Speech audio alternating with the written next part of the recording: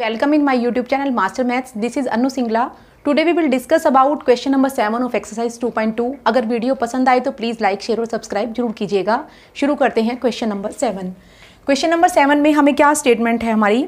The sum of three consecutive multiples of eight is triple eight find the multiples हमें क्या दिया गया है? Three consecutive multiples of eight हमें पहले पता होना चाहिए कि कंजिक्यूटिव मल्टीपल्स ऑफ़ एट हमें कैसे निकालेंगे हम उनको? हमें उनके बारे में मल्टीपल्स ऑफ़ एट का मतलब क्या होता है? जैसे कि हमें स्टेटमेंट से क्लियर हो रहा है मल्टीपल्स ऑफ़ एट क्या होंगे?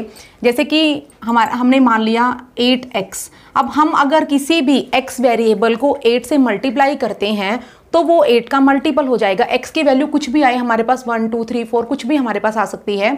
अगर हम उसको एट से मल्टीप्लाई करेंगे, वो क्या हो जाएगा? हमारा एट का मल्टीपल हो जाएगा। अब कंजिक्यूटिव हमने ऐसे एक लास्ट क्वेश्चन में भी किया था। कंजिक्यूटिव का मतलब होता है लगातार। तीन मल्टीपल हमारे एट के होने चाहिए। तो अगर हमारा पहला मल्टीपल एट का एट एक्स है एक्स की वैल्यू कुछ भी आए तो हमारा वो एक मल्टीपल आ जाएगा। उससे नेक्स्ट मल्टीपल हमारे पास कैसे आएगा? अगर हम इसमें एट एक्स प्लस एट अगर हम कर देंगे तो नेक्स्ट मल्टीपल आ जाएगा। एक्स की वैल्यू कुछ भी आए, जो हमारा फ़र्स्ट मल्टीपल आ जाएगा उसके बाद अगर हम उसमें एट ऐड करते हैं, मान लीजिए एट की टेबल है एट की टेबल में हम देखते हैं पहले एट आता है, फिर सिक्सटीन ट्वेंटी फोर तो ऐसे हम क्या जैसे जैसे हम आगे जाएँगे तो हर बार क्या होता है, हमारा एट ही तो ऐड होता है। उसी के अकॉर्डिंग अगर हम एट एक्स में, अगर हम एट को ऐड करते हैं तो हमारे पास क्या हो जाएगा सेकेंड हमारा मल्टीपल आ जाएगा।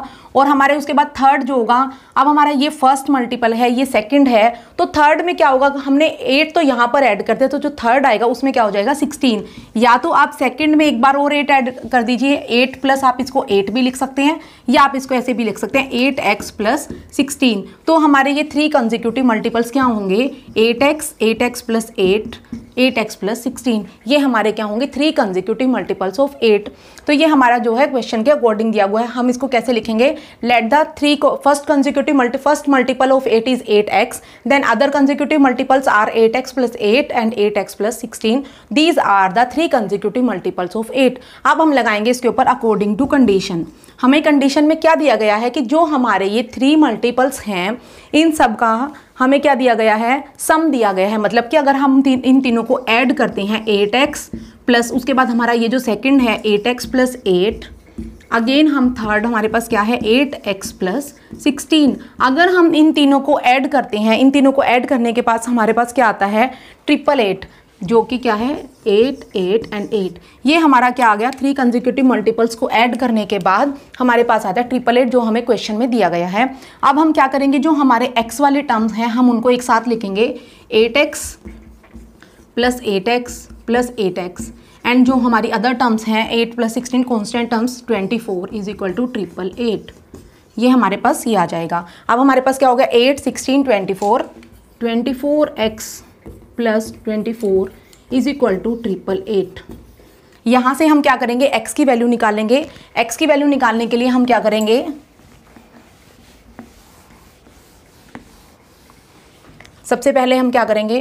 Twenty four x is equal to triple eight minus twenty four twenty four x is equal to eight sixty four x is equal to eight sixty four divided by twenty four हम इसको इससे divide करेंगे, हमारे पास क्या आ जाएगा? Thirty six ये हमारी क्या आ जाती है? एक्स की वैल्यू अब हम जो मल्टीपल्स हैं एट के, वो हम कैसे निकालेंगे? हमने क्या लिए थे? Eight x eight x plus sixteen eight x plus eight eight x plus sixteen तो हम वहाँ पर क्या करेंगे? हमारा फ़र्स्ट मल्टीपल क्या आ जाएगा? एट का.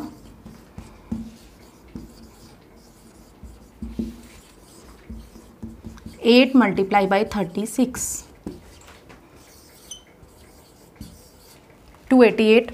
उसके बाद हम इसमें ऐड सेकंड और थर्ड को ऐड कर देंगे.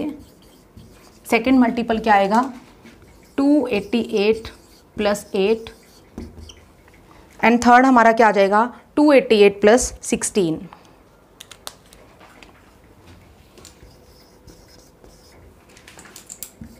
third multiple हमारा क्या आ जाएगा? Two eighty eight plus sixteen three zero four अब हम अगर इन तीनों का टोटल करके देखेंगे तो हमारे पास क्या आना चाहिए? एट हंड्रेड एट्टी एट तो उससे हमारे पास क्लैरिफिकेशन भी हो जाएगी कि हमारा क्वेश्चन ठीक है या नहीं। हम इन तीनों को ऐड करेंगे। ये हमारे पास क्या आ गया? 888 तो इससे हमें पता लगता है कि हमारा क्वेश्चन ठीक है। जो हमने एट के मल्टीपल्स निकाले हैं, वो हमारा राइट right आंसर है। अब हमारा नेक्स्ट क्वेश्चन है क्वेश्चन नंबर एट जिसमें हमें दिए गए three consecutive integers are such that when they are taken in increasing order कि हम उन्हें इंक्रीजिंग ऑर्डर में लेंगे।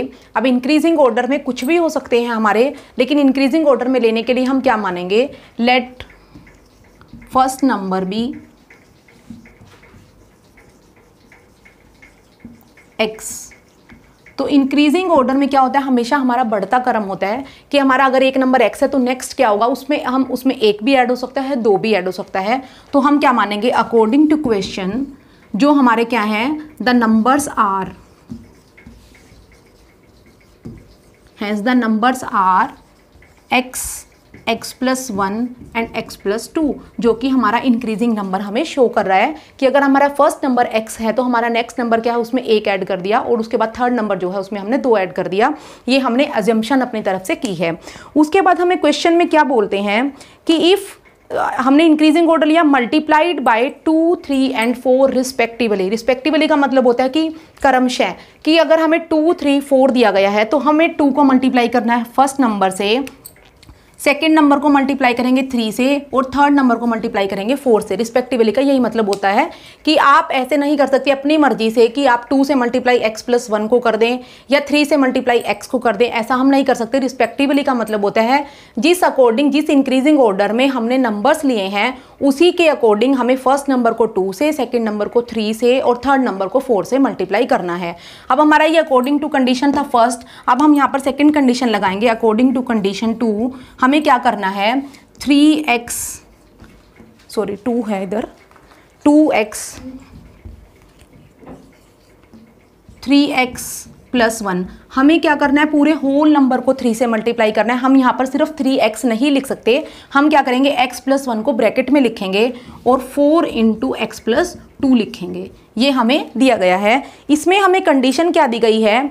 दीफ and multiplied by two three and four respectively they add up to seventy four ये क्या करते हैं? जब हम इनको मल्टीप्लाई कर देते हैं इन तीनों इंक्रीजिंग नंबर के ऑर्डर्स को, इनको ऐड करने के बाद हमें जो है 74 मिलेगा। जब हम इन नंबर्स को ऐड करेंगे तो जो आंसर है, वो क्या आएगा? 74 आएगा। अब हम क्या करेंगे? X की वैल्यू यहाँ से निकालेंगे। हम x की वैल्यू कैसे निकालेंगे? पहले हम क्या करेंगे? ब्रैकेट्स ओपन करेंगे। 2x x plus three x plus three plus four x plus eight ये हमारा क्या है? ब्रैकेट्स ओपन हम क्या करेंगे? फोर को मल्टीप्लाई अंदर दोनों टर्म से हम करेंगे।